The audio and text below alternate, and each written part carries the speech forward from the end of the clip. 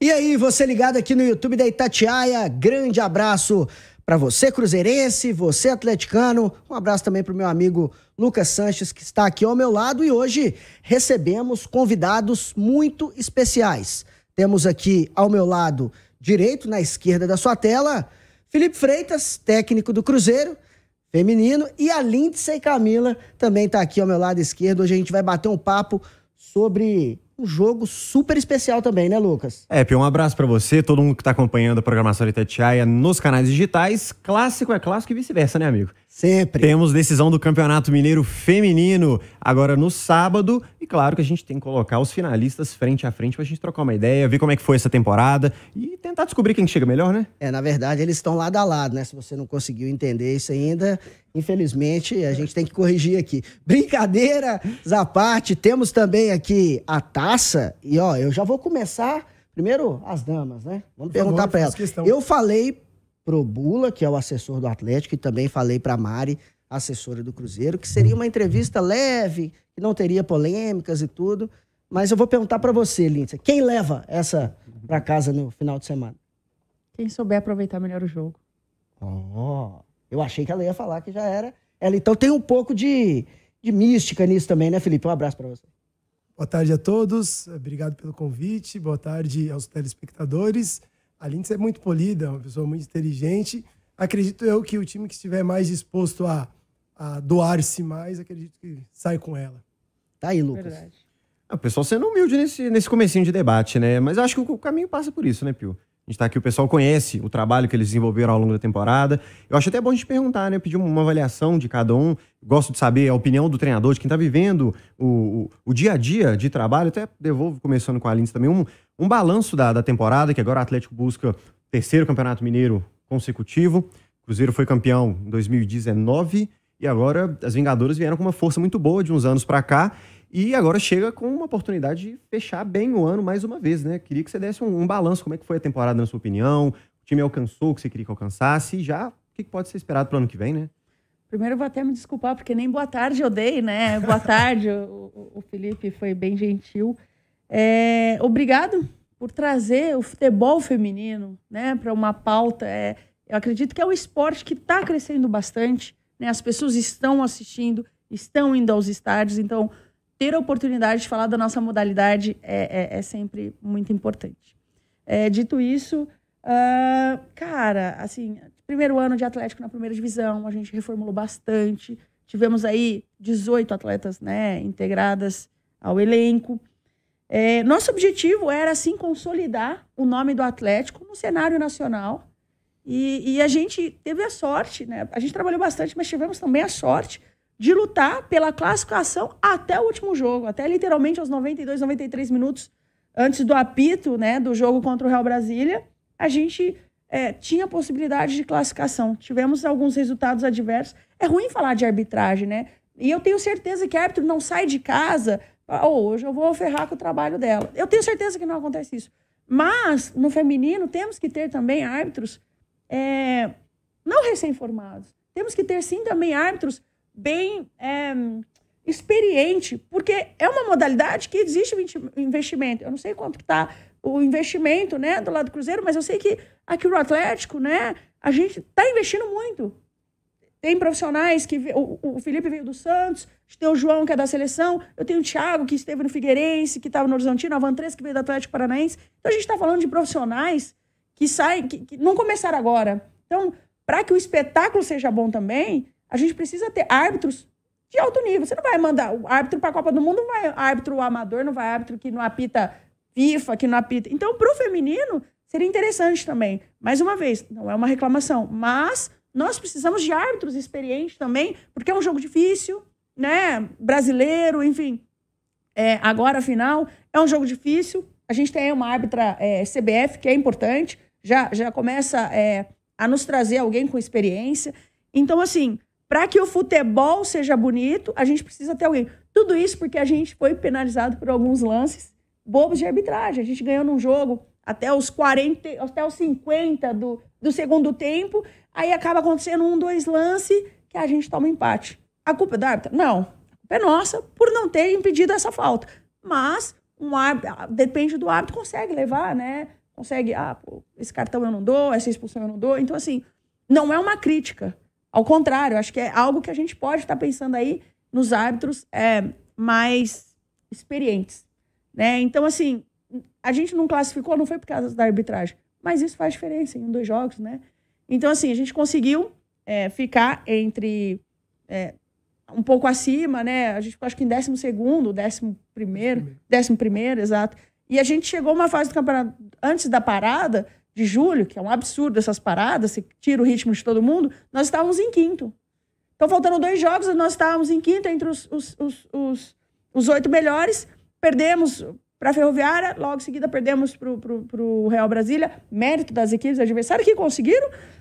E, e daí a gente acaba que não classifica, né? Então, assim, acho que o planejamento ele tem que ser feito. Assim como a arbitragem, os nossos campeonatos têm que ser melhor planejados também. Se, se os clubes estão investindo, as federações têm que seguir isso também.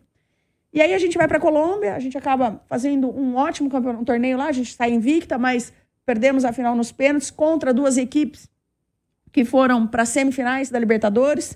Voltamos para o Mineiro, nossa, nós dividimos a equipe, uma parte foi para a Colômbia, outra parte ficou. É, entre meninas do profissional e da base, conseguiram fazer dois primeiros jogos muito bem, ganharam os dois primeiros jogos. Aí a gente ganha os dois jogos seguintes contra o Cruzeiro, mérito do adversário em conseguir ganhar, porque às vezes quando a gente perde, a gente fala assim, pô, a gente jogou mal. Não. Eu procuro ser muito realista. Nem sempre eu joguei mal. Muitas vezes é o adversário que conseguiu impedir com que a gente jogasse. Muitas vezes o adversário conseguiu impor. Então, assim, é, não adianta nada a gente ter ganho no brasileiro, chegar agora na final, perde a final. Do que valeu, né? Ganhar no brasileiro e chega no, na hora do troféu, na hora da medalha, a gente não consegue cumprir. Então, acho que assim, a temporada tivemos muitos altos e baixos, mas eu acredito que é, o final dela é positivo, pelo, pelo vice-campeonato na Colômbia, pela quase classificação e essa final. Né? Então, assim, enrolei para falar bastante, mas é para deixar assim bem explícito o cenário como foi anual. E agora o Felipe para fazer também esse balanço, claro. né? Lucas, do que que foi a temporada, como que chega o Cruzeiro para essa final importantíssima? Lembro, tá aqui ó, a taça, veio nos prestigiar, prestigiar, claro, o Felipe e a Lindsay que fizeram aí um trabalho ao decorrer dessa temporada. Então, como que chega o Cruzeiro para esse jogo decisivo no final de semana, Felipe? É uma pergunta bem inteligente no que tange um país que é muito resultadista. Então, é, falar de processo que nós desenvolvemos num futebol feminino, e vou falar do futebol feminino mineiro especificamente, é, é algo que é importante. A Lindsay toca na, no assunto de arbitragem, que eu acho que é importante ser revisto, e quando ela fala de não ser crítica, eu entendo o ponto de vista dela, e eu estendo um pouco mais. É, nós, falando agora um pouco mais do Cruzeiro, é, tínhamos alguns objetivos muito claros. Um deles era permanecer na Série A. Por que disso? É, o objetivo de Cruzeiro, é, em termos de, de, clube, e a SAF chegando, era muito de conseguir o acesso. Esse era o objetivo principal e todos remando em favor disso. Então era sempre muito claro isso. E óbvio que nós é, planejamos outros objetivos também, de, pô, vamos tentar uma vaga lá. Nós tínhamos condições também, no, no, faltando os últimos dois jogos, de ter essa classificação. Uh, e quando eu chego lá, eu chego num ambiente relativamente caótico. Caótico porque o Ronaldo estava para comprar ou não o Cruzeiro, para formar a SAF ou não. Uh, então, essas condições dão muita insegurança. Além disso, uma troca de treinador, que gera um ambiente mais instável. Lindsay, atual campeã mineira, isso traz muito mais solidez, traz um pouco mais de ideias para o outro ano. Eu sei que muitas coisas mudam. Uh, então, a, a gente entra num processo, quando eu chego, faltava uma semana para a estreia do Campeonato Brasileiro. Mediante a isso e outros percalços, nós fizemos um Campeonato Brasileiro digno, que a nossa proposta era enfrentar todos os times de igual. Independente, aí eu vou voltar na parte da, ainda do Campeonato Mineiro.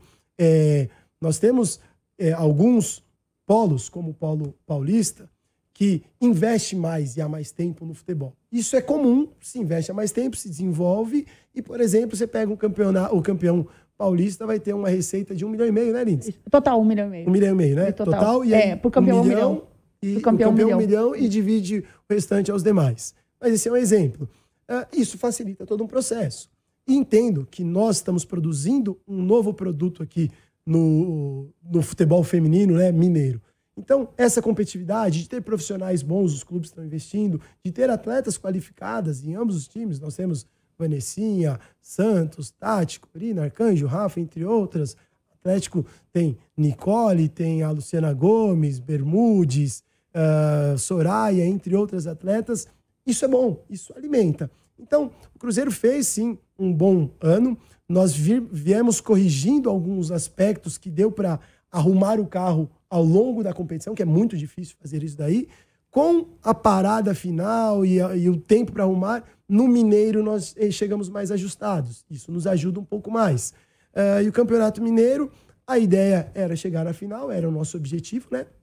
Uh, só que no meio da competição, aliás, no primeiro jogo, do primeiro para o segundo, surge uma, uma meta, um objetivo bem interessante, que falam a mim, é, Felipe, nós queremos a melhor campanha. Bom, e o porquê da melhor campanha? Porque nós queremos é, fazer a final com torcida mista.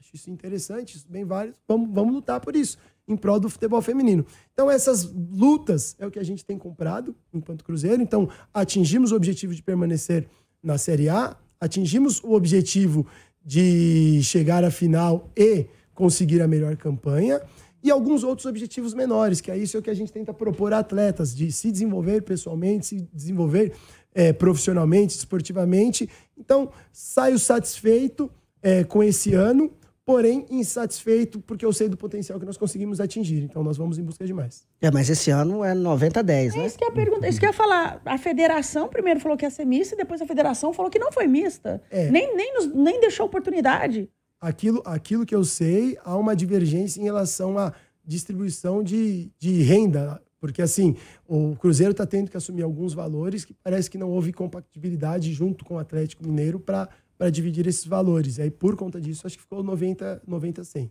90 assim, 10. 90 é, 10, desculpa. Mas porque a gente foi, a gente foi para um bate-papo e o diretor de competições estava. E, e quando o diretor de competições, que foi me relatado também, quando o diretor de competições chega e fala assim, ó, vai ser desse jeito, desse jeito, desse jeito. Então, assim, a, até onde. Vou, leiga, tá? tá até onde eu sei, foi imposto pela federação. Posso estar falando bobagem aqui, estou falando sem saber. Tá bom. Mas até onde eu soube, a federação falou assim: ó, 90 a 10. É, a, a informação... Vamos correr atrás dessa informação, a gente vai até buscar a federação para Porque seria bonito, assim, não, não, não por. Acho que mérito de quem fez a melhor campanha. Pode. Mérito. Mas seria bonito, imagina, eu tô viajando aqui, sei lá, umas 50 mil pessoas para ver o feminino no Mineirão. Cara, seria um sonho. A gente já viu isso em São Paulo recentemente. Exato, né? exato. na Arena exato, exato. É, Olha que sonho. seleção essa semana. Seleção. São Paulo. Eu vejo, é, pelo que eu entendo e que foi chegado a isso, que não era, na verdade, não era a diretora, era uma responsável, era uma mulher de competições, eu não sei o nome, que estava envolvida nesse processo. E o Cruzeiro tentou algumas propostas e para dividir, porque nós sabemos que o futebol feminino ele é difícil financeiramente. Sim. E aí, quando e quem fala comigo à época é a Kim, ela fala: "Fê, preciso fazer a melhor campanha, porque claro, essa é a proposta". Claro. E a Kim é uma que briga muito em, claro, em prol do futebol feminino. Ela e a Bárbara, inclusive, briga muito. Falei: "Show de bola". E aí, recentemente, eu fico sabendo da história, que ficou 90, 90 a 10, e aí, o que eu entendo foi, mas o que houve? O que mudou em relação a isso? E a informação que tem é essa, que o Atlético não, não, não, não compartilhou com valores, ou não concordou com valores, eu não sei a precisão disso daí, e então, por conta disso, acabou dividindo 90 a 10. Pode ser imprecisão minha, tá? Porque não foi algo que eu não busquei profundidade, mas é, é, é bem próximo a isso. Que para os próximos anos, então, né? Claro que isso é super importante para o nosso cenário aqui do futebol é feminino, que isso possa, de fato, trazer Sim. uma concordância que seja entre os clubes claro. ou envolvendo a própria federação, até para você engajar mais o torcedor. A gente sabe, é difícil, é um processo. O futebol masculino ele já tem uma, uma significância, uma importância para o torcedor, que o futebol feminino está buscando e está lutando. E a Itatiaia é sempre dando esse espaço aqui. Inclusive, a final terá transmissão com imagem no YouTube da Itatiaia. Então a gente faz esse programa aqui justamente para dar mais engajamento, para chamar o torcedor e convocar aquele que for ao estádio, vai acompanhar direto, ao vivo, lá no Mineirão, o nosso grande palco do futebol, que já teve grandes conquistas, tanto do futebol feminino quanto masculino, e aquele que não puder ir ao estádio, ele vai acompanhar, tanto pelo radinho, se quiser acompanhar pelo YouTube, com imagem. A Itatiaia é sempre dando aí essa abertura para o futebol feminino. Agora, passando a bola para a Lindsay de novo, a gente sabe o tanto que é importante né, chegar a uma final. Mas o Atlético é o atual campeão, na verdade, o atual bicampeão. O que que representa para o Galo essa final de campeonato? Importante, é importante. É, é, foi como eu falei anteriormente, não adianta ganhar dois jogos, ganhar no brasileiro e chegar na final e não ganhar. Para mim, é, eu acho, acredito que, é, como treinador, o jogo mais importante é o próximo sempre né? E, e para a instituição, né? É, o investimento, o ano como um todo é, é, muito importante. Acho que, acredito que dos dois lados a vitória é importante. É clássico, é final de torneio regional. Então entra muitas, muitas histórias, né? Muita coisa né? É, numa final. E assim, é, eu acho que os dois anos anteriores não vai dizer nada sobre essa final porque a final vai ser jogada no sábado. Os anos anteriores já aconteceram outros treinadores, outra história. Eu estava, mas o elenco era outro, a situação era outra. Estávamos numa segunda divisão, né? Então, assim, é, cada jogo literalmente é um jogo. E, e só sobre as torcidas, para finalizar, o Cruzeiro no Mineiro levou a equipe feminina para o Mineirão e nós, do brasileiro, nós fizemos dois jogos na Independência e, e o recorde de público da primeira fase é do Atlético com 3.800 pessoas. E a gente liberou a informação, acho que quatro, cinco dias antes, né? Porque é até menos, porque ainda estava na situação de máscara, porque foi o segundo jogo, né? A gente ainda estava na história de pandemia, foi o segundo jogo do brasileiro. Nós tivemos 3.800 pessoas. Quando as torcidas entenderem, dos dois lados, o quão importante é o futebol feminino, eu tenho certeza que 50 mil pessoas vai acontecer muito fácil aqui em Belo Horizonte. Lucas. E que acompanhe o investimento também, né? Exato. O investimento tem que ir junto, porque a significância que você acabou de colocar, Pio, tá crescendo. Exato. A gente acabou de falar da seleção brasileira jogando no Brasil, que é muito bacana. O masculino já não faz. Uhum. O feminino tem feito, atraído uhum. torcida. A divulgação também no futebol feminino, com o abraço dos clubes de uma forma geral, criação das ligas. A gente tem agora o time brasileiro brigando por Libertadores, são competições grandes. A gente consegue assistir as partidas. Então, é bom que o torcedor, de uma forma geral, também abrace essa, essa iniciativa, porque os ingressos estão num preço legal, o estádio é a casa do futebol mineiro, com o maior clássico do nosso estado. Então, assim, é um prato cheio para quem gosta de quê? De futebol. Eu acho que esse que tem que ser o espírito mesmo. A gente já tá vendo a determinação dos dois lados aqui para ganhar. Então, assim, disputa não vai faltar. Vai ser um jogo de futebol que a gente espera do altíssimo nível, né, Pio? Com é... certeza. E aí eu já faço a mesma pergunta pro Felipe, da importância desse título, até porque o seu rival é o atual campeão e venceu os dois últimos. Você não estava aqui. É. Já tá com querendo. Tem um gostinho de ser campeão também. O coração já estava. Eu, eu costumo falar que as coisas já são alinhadas ao longo do tempo, então já algo se preparava para eu estar aqui. É, a importância do título está relacionada a propósito. É, por muito tempo eu falo que é, nós entramos em campo por alguns propósitos, e o propósito é o futebol, é o futebol feminino. A gente luta muito por essas ações, luta muito para ter, por exemplo, é, mais pessoas no estádio, mais mulheres envolvidas dentro do futebol, para ter uma competitividade que é saudável isso, porque isso é o que faz com que os torcedores queiram queiram vivenciar o seu próprio clube. Então, para a gente é muito importante para solidificar muitas coisas que nós temos lutado. lutado. É, o Cruzeiro ele tem sido pioneiro no que eu chamo de tentar olhar para o futebol feminino com maior carinho, é, de acolher dentro de sua instituição é, as, as atletas e não simplesmente colocá-las lá e você é um ser, entre aspas, tá, intruso dentro de um espaço. Não, é um acolhimento é, holístico, é um acolhimento que ele nos proporciona vivenciar os dois centros de treinamento, tanto a Toca 1 quanto a Toca 2, vivenciar a, a parte dos campos, de, toda, de todo, todos os profissionais que envolvem, desde a parte de medicina, fisiologia, uh, psicóloga, entre outros. Então, para a gente, esse título é coroar algumas lutas que a gente tem buscado em favor de um propósito de, de ter uma equidade em relação a, a, ao futebol, né? E, e, de novo, respeitando tudo que o futebol masculino conquistou em sua história, uh, e sabendo dos nossos atrasos de mais de 40 anos e todas as outras é, entraves que foram surgidos, mas buscando o que é de direito do futebol feminino, uh, visibilidade, oportunidades e debate cada vez mais trazendo algo é, produtivo e para um crescimento melhor da modalidade. Sua pergunta, Lucas. Eu ia perguntar se o Felipe acha que está chegando nesse lugar que você está almejando tanto.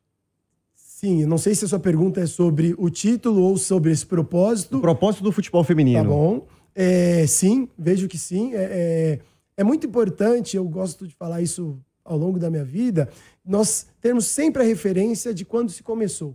Então, se você coloca o futebol da década de 80, que foi onde que praticamente foi permitido voltar a jogar futebol, as mulheres, né? Permitido, um absurdo. É, nós estamos falando aí de, 20, de 43 anos. São 43 anos que houve uma permissão para algo que não deveria nem ter sido proibido.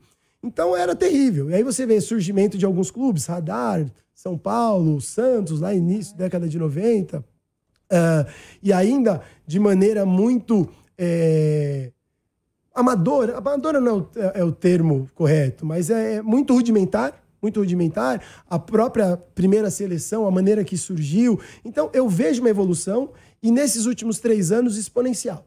É, de trabalhos, por exemplo, como a Lindsay na seleção brasileira, muitas atletas que, que participou por ela hoje é, já se, se despontando em alguns clubes. Então, assim, trabalhos que estão sendo feitos e muito de formiguinhas por muitos profissionais. Eu, eu enfatizo sempre o trabalho que a Bárbara fez e faz no futebol mineiro. É, Para mim, um dos expoentes nacionais é, de luta pelo futebol feminino. É, então, eu vejo que nós estamos a caminho, sim, Lucas. O ponto é ainda mais lento do que poderia estar, por ausência de alguns investimentos e apoios. Então, é, eu fico feliz por o que está se conquistando, mas chamo mais empresas, chamo mais é, profissionais, mais torcedores e principalmente pessoas que têm a mentalidade um pouco mais fechada, daquelas que falam: ah, o futebol feminino é feio, ou ah, não é igual. É, a gente não quer ser igual a ninguém, a gente quer ser a gente como é, mas com uma oportunidade de fazer tão bonito quanto são alguns jogos é, masculino, porque nós sabemos que não todos, e a gente quer fazer algo que seja agradável para todos, para o público, para as atletas, para os clubes, e dessa forma todos cresçam com alegria e na parte financeira. Você, Lindsay, o que, que você enxerga como é, esse grande movimento? O que, que deu uma acelerada para fazer com que o futebol feminino ganhasse uma valorização maior dentro do país? Né? Hoje a gente vê as próprias empresas de comunicação, principalmente as TVs, exibindo Copa do Mundo, mundiais, até mesmo competições é, é, de base. O que, que você enxerga como, até agora, o, o, o grande feito, digamos assim, é aquilo que precisa melhorar com urgência? É, é ruim o que eu vou falar, mas a obrigatoriedade é, assim como cotas, é o ruim que vem para o bom. É, fica meio estranho isso. Mas a partir do momento que se obriga os clubes a ter futebol feminino, desculpa, por causa das, le por causa das, das leis né, da, da do, do Profut e, e isso e aquilo, é, a gente passa a ter mais futebol feminino. Aí o Cruzeiro monta o time feminino. E o carro, como é que fica? Vai, vai montar um time. Pô, os caras estão subindo, os caras foi vice-campeão da A2 Aí vai para Libertadores, tem que fazer. Então, são projetos que tornam obrigatoriedade, que tornam. Ah, pô, vai ter que ter o futebol feminino. É ruim pensar dessa maneira, mas é algo que acelerou a melhoria da, da, da, da modalidade. Vou trazer outro ponto. Por que está televisionando o futebol feminino? Porque a grande emissora foi atrás para ter a Libertadores masculina novamente. Pô, mas aí vocês têm que pegar a feminina. Opa, vamos passar a feminina, passou em TV fechada. A gente vai pegar o Brasileirão também. Então, a obrigatoriedade, infelizmente ou felizmente, está nos trazendo melhoria. Ah, poxa vida, agora é obrigado ter uma mulher na comissão. Cara, é obrigado. Porque muitas vezes atletas não têm condição de se formar, não têm condição de de estar no futebol feminino. E eu acho que assim, a gente já conversou sobre isso, não é porque a mulher que, independente de como ela seja, tem que estar lá. Não, ela tem que se preparar. E se for tão boa quanto um homem, estar lá. Homem ou mulher, aí depois é outra história. Mas a gente precisa, principalmente, fomentar mulheres, fomentar o, o, o esporte em si, o futebol feminino em si. Pô, que saco, vou para Libertadores, vou ter que fazer um futebol feminino. Tá, beleza, o Red Bull fez. E fez um projeto bom. Primeiro ano, foi campeão, foi, esteve, esteve entre os quatro no Paulista, depois subiu para o Brasileiro, foi campeão da Série B, né? acabou caindo esse ano, mas está aí entre os quatro no Paulista. Então, assim, a obrigatoriedade está trazendo mais é, equipes, está trazendo mais atletas. Porque a gente tinha, antigamente era São Paulo, Palmeiras, aí veio faz três anos, só que voltou. É, o Corinthians de 2017 para cá, a Ferroviária há tanto tempo, sem obrigatoriedade, sempre estando com o futebol feminino. O Saad, o grande Saad, que foi campeão de muita coisa no Brasil, também tinha, porque queria. Então, assim, é, eram poucos os clubes, né? E, e isso, a história da camisa, traz torcida, traz TV, traz tudo, investimento, tudo aquilo que existe já no masculino, né? Então, é, é ruim falar que cotas e obrigatoriedade foi o que acelerou, mas infelizmente isso é fato. Eu ainda vou um pouquinho além, Pio, porque Perdão. ano que vem tem Copa do Mundo. Exato. Eu me lembro muito do exemplo da Copa de 2019, que eu acho que ficou muito marcado a Megan Rapinoe, dos Estados Unidos, Sim. que ela se tornou uma referência durante a Copa Sim. e pós-Copa, não só para o futebol feminino, porque acabou entrando no futebol feminino em videogame, muita gente Exato. queria jogar com ela Exato. também. Você acha que existe esse poder transformador para 2023 também com a estrutura que a gente tem hoje, onde a gente chegou hoje? E falando mais de Brasil, porque eu sei que na Europa é um mundo muito diferente, lá é muito mais estruturado, divulgado e etc. Você teve lá também. Sim. Mas o Brasil tem essa, essa possibilidade de ampliar ainda mais o futebol feminino com a Copa, sem Marta, sem Formiga, já sem alguns nomes que a gente está acostumado a ver, né? É, assim, só falando sobre a Europa, o Lyon, quando começa, é um presidente que é, escutou que teria obrigatoriedade e já deu um passo à frente. Foi quando ele começou com o futebol feminino no Lyon. É, o Brasil já está investindo mais, como o Felipe falou, né? A, a seleção, quando eu, eu vim para ser auxiliar da seleção sub-17, foi um mês depois que eles contrataram a Pia, né? É, eles contratam a Pia, eles levam uma mulher é, a cada. Todas as seleções levaram uma mulher formada, né? Nós, nós passamos por processo, nos formamos, tivemos um, um, um, uma experienciazinha antes de chegar, não simplesmente aterrissamos. Então, eles trazem a pia, eles melhoram um, algumas coisas na principal. O campeonato brasileiro passa a ter, de, é, de 2017 para cá, a gente tem essa fórmula de campeonato brasileiro. É, a gente passa a ter o ano passado a Supercopa do Brasil. Então, assim, a federação está investindo. De repente, não como a gente né, quer, uhum. como poderia ser, mas está investindo. Então, acredito que para 2023 a estrutura que está sendo formada, o que está levando, acredito que vai ter tanta audiência como 2019 eu estive na Copa do Mundo assistindo jogos lá em loco. Cara, loucura. Eu teve um dia que eu fui na final, mas antes foi França e Estados Unidos. Eu fui no, no, no, não foi nem no Estado de France, foi no do PSG, que eu esqueci o nome. Parque dos Príncipes. Parque, de France, é isso, Parque dos Príncipes. Então, o, o jogo foi lá, a hora que eu olho assim, lotado de americano. E aí, na época, a Cici esteve na Copa do Mundo, mas levada por uma equipe americana. A nossa, até antes da Marta chegar, a nossa referência, a Cici, foi levada para uma Copa do Mundo por uma equipe americana. E eu fiquei me perguntando, cara, o que, que nós fizemos? Nós, quando eu digo nós, o Brasil, fizemos pelas nossas, pelas nossas pioneiras. Porque se hoje a gente está aqui, é por Cici, é por Kátia, é por todas essas mulheres que galgaram, que batalharam lá na década de 80, 90, para que a gente pudesse estar aqui hoje. E a gente não deu essa condição a elas. Né? Hoje a gente, pessoal aí, pô, a Marta, a Tamires, né? as meninas do Cruzeiro, as meninas do Atlético, tem, tem mais pessoas indo atrás. Mas essas que, que abriram o caminho para a gente não tiveram esse reconhecimento. Então, eu acredito que para 2023, tudo isso que está sendo trabalhado vai começar a colher esses frutos. Pio e, e Lucas, permita-me só complementar. Claro. É, eu vejo que o que falta também são três pilares que é relacionado a, a interesse, coragem e vontade de fazer. Eu vou trazer o nome uh, do Pedro Martins, que hoje é, ele Trabalhei tem passagem pela Ferroviária. Trabalhei com o Pedro. Junto com o Roberto Braga, uh, são os dois que inicialmente, meu primeiro contato no Cruzeiro, e eles trazem e aí, o Pedro, principalmente, ele traz um, uma frase que já me, me faz interessante no primeiro momento, que ele, vamos buscar quebrar travas culturais. E isso daí, para mim, é, é, ter coragem. Um cara que vem para um clube buscando é, mudar paradigmas, tem coragem. E aí, uh, quando o Ronaldo é, entra na SAF, a, a quem vem informa algumas informações logo, logo em seguida, e outra, que ele quer apoiar o futebol feminino e que o futebol feminino seja um dos pilares do clube. E aí é um cara que tem Interesse, interesse não de maneira pejorativa, tá? O interesse em, em alimentar o futebol de uma maneira, o interesse também corporativo, pensando no Cruzeiro como é, a, a, uma empresa, uh, isso eu acho importante. E as pessoas serem visionárias. O Cruzeiro tem hoje uma mulher, que é a Natália Bittencourt, que ela é, faz todo o comando de saúde e performance lá.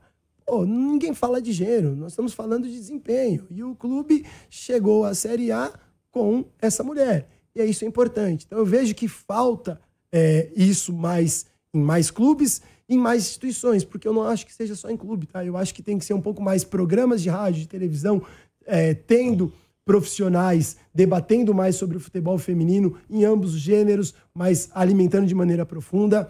É, vejo necessário também que a gente tenha dentro da, das instituições conversas é, mútuas. O que eu posso dizer, por exemplo, é aproximar dos clubes de Minas o que é necessário após esse campeonato mineiro para que no próximo a gente faça melhor. Mas sentar e conversar. Mas o que é necessário não só para os clubes, para a Rádio Tatiaia, para as outras transmissões, para a Federação Mineira.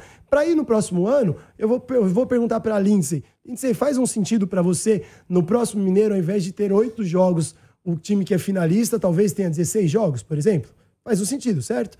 É isso. É ter algumas coisas que seriam interessantes para o clube, eu estou falando treinador para treinador, que é interessante para desenvolver, dar oportunidade, entre outros, que talvez para a Rádio Itatiaia seja interessante no que tange a é, ter mais matéria, ter mais visibilidade, cobrir alguma lacuna de algum espaço que tenha, que talvez para a federação busque algum patrocínio a mais. Então, é sentar, buscar esses interesses, buscar essas vontades e falar, vamos arregaçar as mangas, vamos fazer algo melhor. Mas não deixando as consequências, e como a Lindsay fala, de, ah, pô, tem que ser obrigado. Se não for obrigado, não vai fazer, que é o que foi feito há muito tempo. Então, como ela fala, é, bom ou ruim, a gente não sabe nem mencionar, porque sem isso seria muito pior. Mas com isso, a obrigatoriedade fica um negócio, ah, só vai fazer ser obrigatório. Então, encontrar esse caminho, só queria complementar essa ideia. Mas é muito bom você tocar nesse assunto, porque, é, pelo menos particularmente, eu sempre disse isso. Eu enxergava o futebol feminino de uma forma, hoje eu enxergo de outra.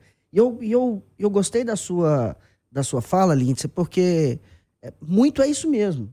O, o os times da Série A foram obrigados a colocarem um time feminino, a criarem um time feminino, por determinações até da Comembol, para disputar a Copa Libertadores.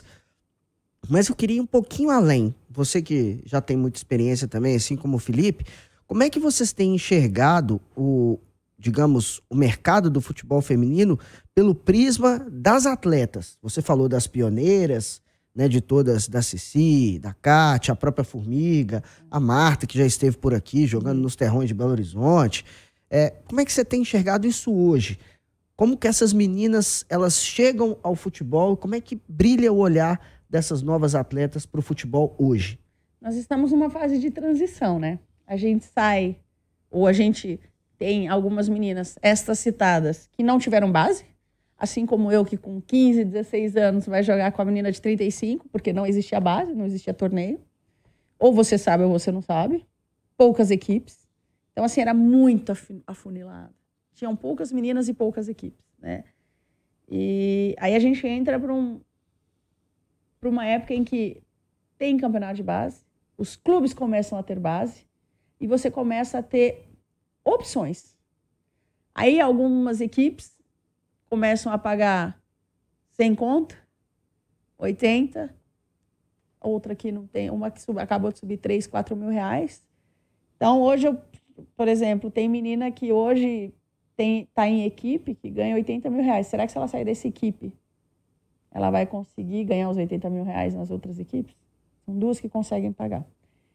E como eu vou trabalhar o profissional dessa menina que está subindo e já sabe que o salário está alto. Então, assim, até conversando com o Felipe há três semanas atrás, acho duas, três semanas atrás, nós não temos que fazer como masculino.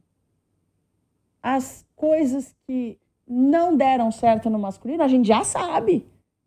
A gente já pode tentar fazer de uma maneira diferente. Né? Os assédios não podem existir. Né? Ser correto e trazer para as meninas uma mentalidade mais profissional. Porque assim como no Cruzeiro, no Atlético, em todas as equipes da primeira divisão, salvo engano, eu não tenho certeza disso, mas é, eu não sei se se tornou obrigatório, mas seria obrigatório assinar as carteiras. É? Ou no máximo 60, 40.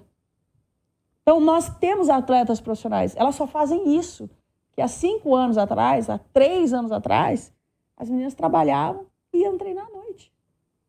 Então, a gente tem que entender que estamos tendo uma troca de geração, né? aquelas que não tiveram base, para aquelas que já vêm da base se profissionalizando. Então, aqui, o amador, o semi-profissional, para o profissional. Então, quando se fala em campeonato nacional, eu sempre gosto de falar da palavra excelência. Eu adoro falar em excelência, porque eu procuro trabalhar em excelência, eu procuro estar sempre me atualizando, eu quero que as minhas atletas estejam se atualizando, estejam entendendo e sejam profissionais. Porque se a gente tiver excelência na comissão, nas atletas, a gente vai entregar um bom produto. Talvez não o melhor, mas a gente vai conseguir vender algo. Então a mentalidade daquelas que são que saem do semi-profissional para essas que estão começando, a gente tem que encontrar meios ou objetivos, não sei se é essa palavra, ou algo para que a gente não transforme como vem o masculino. E olha só, eu acho lindo uh, o futebol masculino, eu acho muito legal, mas existem coisas. Eu vou dar um exemplo, né? Eu, como treinadora, eu acho o Lisca um bom treinador. Mas o tanto de clubes que ele trabalhou esse ano é algo que eu fico me questionando. Eu, quando eu saio da ferroviária, eu não esperava sair quando eu saí da ferroviária. Eu chego pro Atlético, eu fico quatro, cinco meses no hotel. Porque eu pensei, se me mandar embora, eu não vou alugar um apartamento, eu não vou pegar os móveis. Nós não precisamos disso no feminino. Como o Felipe falou, o que propuseram a ele é o projeto. Né? Porque se a gente entra nessa de trocar treinador, a gente viu aí, eu, já, eu falei isso ontem, no, no Arsenal, Assenberg, ficou tantos anos no, no, no, Arsenal sem ganhar muita coisa. Né?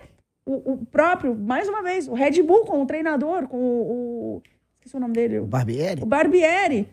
Fez, teve bons jogos, teve, mas veio muito mal no brasileiro e mantiveram ele até o final. Cara. Então, assim, o projeto é importante. Eu sei que o futebol masculino é muito imediatista. E se a gente começar a ir por esse caminho e não profissionalizando e levando para as nossas atletas o profissionalismo, a excelência, a gente vai acabar perdendo muito com isso. Então, a gente está numa fase meio que de transição, acredito. Essa é a minha visão de como nós estamos. Essa fase mais de transição. Lucas, a gente vai já encaminhando para o final a sua pergunta pra, ou para o Felipe, para Lindsay. Eu acho que esse, esse Posso caminho. concluir? Do... Desculpa, Lucas. Por favor, por favor, vamos lá. O meu vai ser bem curto. É... Vou tentar ser breve no caso, né? Há um, um elemento, quando a, a Lindsay fala, eu, eu vejo que as meninas estão precisando desenvolver num espaço de 4, 5 anos, tudo que se perdeu. Porque se você for pegar futebol masculino década de 40, década de 50, você vê ele relativamente técnico, muito espaço para se jogar, bola menos rápida, uh, tocava-se a bola, você tinha a oportunidade de ter uma técnica relativamente mais refinada, porque a pressão de bola e a redução de espaço não existia tanto. Vai se desenvolvendo ao longo do tempo, uma plasticidade muito boa. Década de 80, você vê a seleção de 82 linda de jogar. E então, algumas seleções já ao longo do tempo começando a impor, principalmente as europeias, impor componentes físicos. E então, nós já estamos falando aí de quase 30 anos em desenvolvimento, e aí começa um pouco mais físico. E físico, físico, físico. Aí tem a seleção da Itália, completamente físico, de força, e, e vai, alemã, e por aí vai. Uh, chega próximo aos anos 2000, a gente vê um pouco mais da tática entrando em jogo, principalmente no Brasil, começa a falar muito de tática, de voltar, não sei o que lá. Hoje em dia já estamos falando mais em tomada de decisão, em leitura contextual. Pô, nós estamos falando aí de 60, 70 anos que teve que se desenvolver tudo. Agora imagina, só que assim, as crianças, o menino recebia uma bola. Na década de 80, o primeiro brinquedo era uma bola.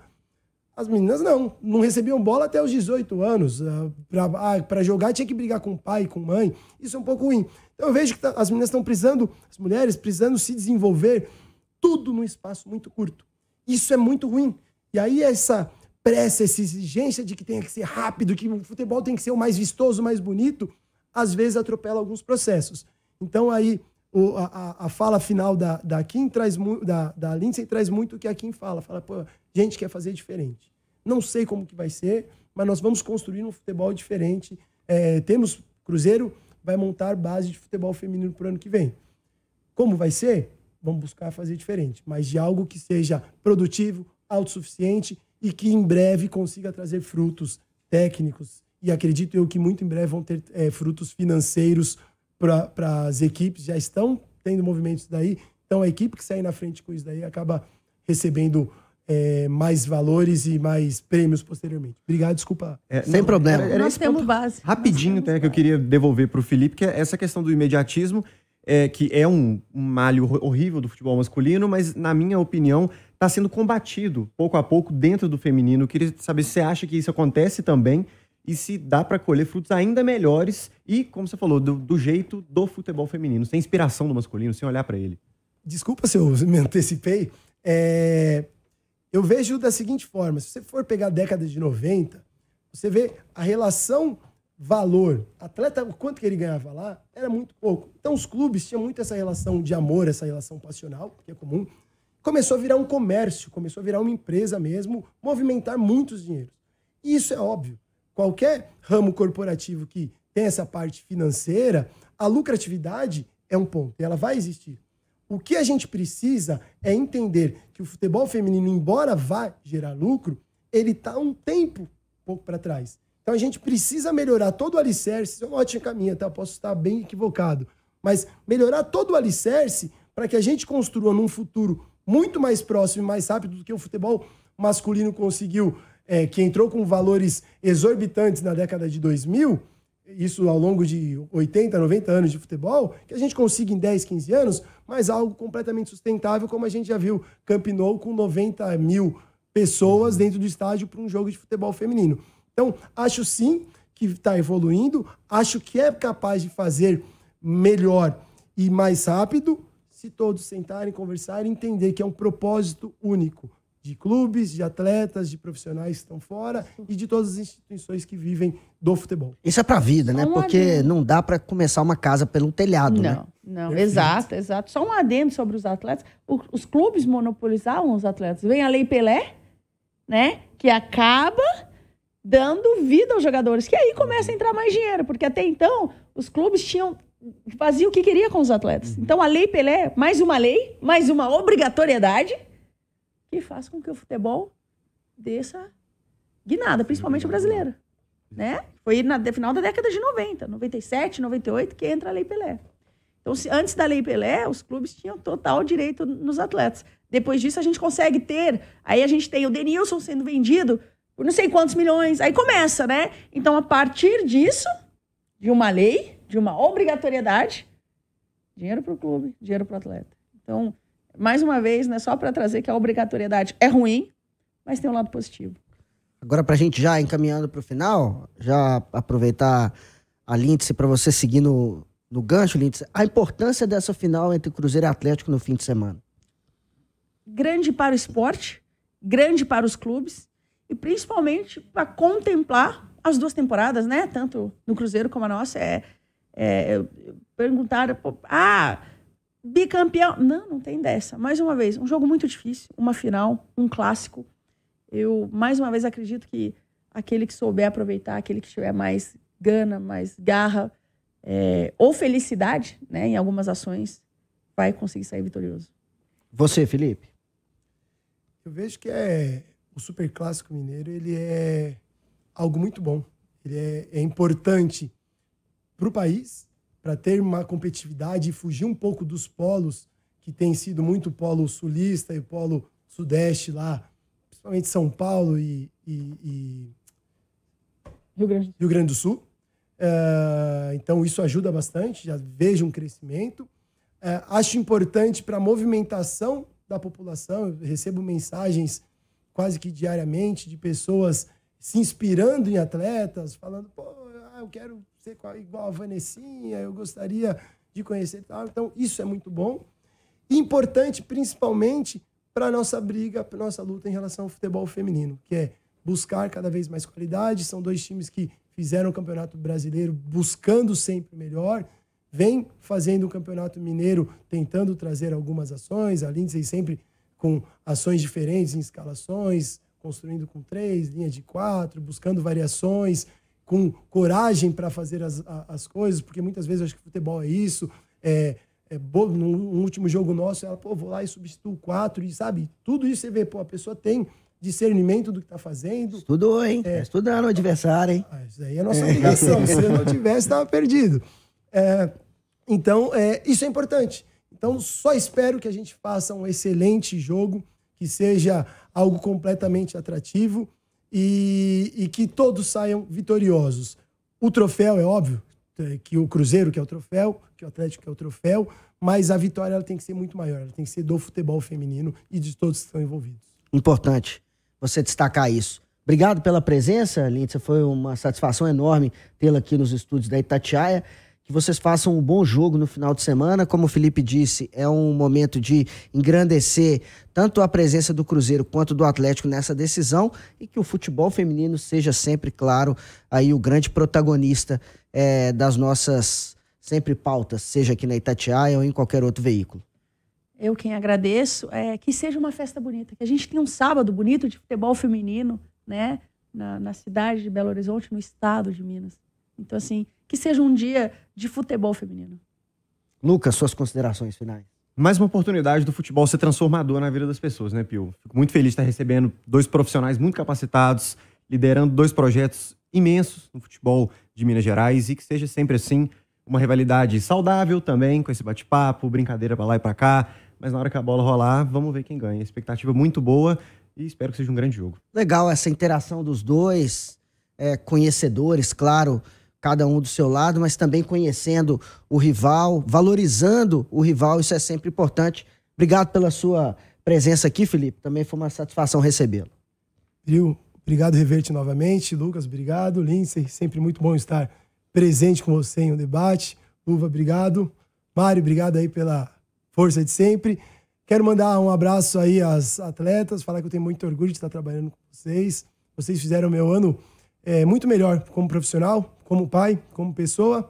E convidar a Nação Azul aí para nos acompanhar no sábado. Vamos fazer uma grande festa.